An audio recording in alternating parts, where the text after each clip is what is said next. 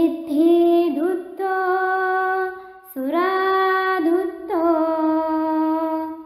अखधुतो च यो नरो। लब्धं लब्धं विना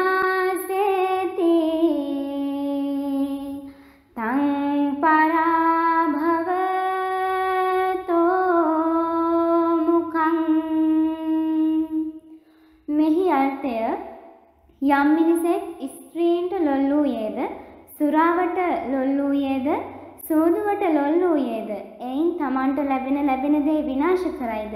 එය පිරිහීමට හේතුවකි